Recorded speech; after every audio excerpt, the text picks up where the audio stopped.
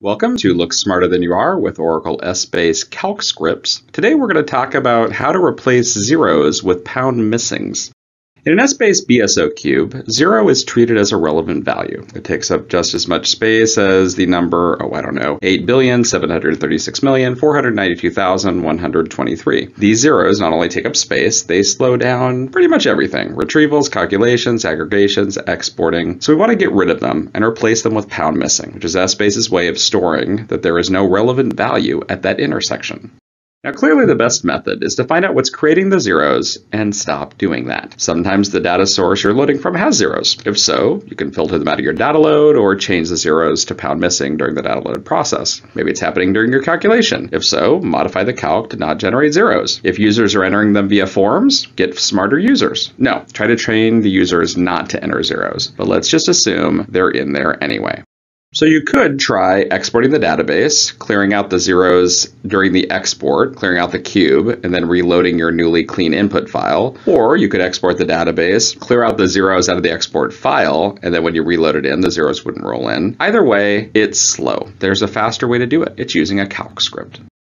Now in this example, I'm clearing out just the actual scenario. You do the same concept for each of your scenarios. Try to pick a small dimension, preferably a dense dimension. Notice that I don't have a fix, so it will replace these zeros in the entire database or the actual slice. This is how we used to do it. What we're simply saying is actual, and then it has to be inside of a member block because we're going to do an if. If actual equals equals zero, notice a double equals is a test for equality, a single equals is a setting to. So if actual is equal to zero, then it becomes pound missing. Now notice on the next line, I don't have to say actual equals pound missing because I'm on the actual member end if. Now while this works, it's slow because it uses an if. Ifs are really slow.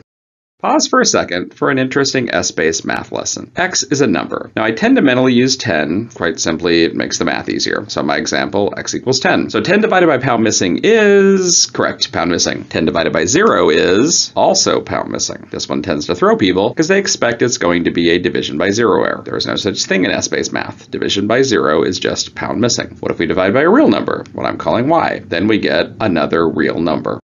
Now we're going to use our knowledge of how multiplication and division work together. If x is neither 0 or pound missing, meaning it's a real value that we care about, a relevant value, then x times x divided by x equals x. You algebra experts watching this video can figure out how to change that, and you'll see x equals x. But what if x is 0 or pound missing? Well, it doesn't matter what's on the numerator because the denominator is 0 or pound missing. What ends up happening is you get back pound missing. How is this possibly helpful? Now we could use this knowledge to eliminate the if, because remember, ifs are really slow. We simply say actual equals actual times actual divided by actual. Yes, you're repeating the word actual four times across here. So let's say actual is the number 10. Well, 10 times 10 divided by 10 equals 10. So we set actual back to what it already was. Well, let's say actual is 0. 0 times 0 is 0. 0 divided by 0 is pound missing. So even though actual started as zero, since zero times zero divided by zero is pound missing, actual gets set to pound missing. Let's say actual is already pound missing. Pound missing times pound missing divided by pound missing is pound missing, and it essentially sets it back to what it already was. So the only time this calculation will actually change the number is if actual is a zero. In every other case, it'll set it back to what it already was. Now there's a problem with this method that my good friend Joe Aultman pointed out. We're taking a number that could be huge, we're squaring it, and then we're dividing it by the original original number in the hopes of getting back to the exact number we started with. Now, in the world of algebra, that would always work, but keep in mind we're in the world of computers and they use floating point arithmetic.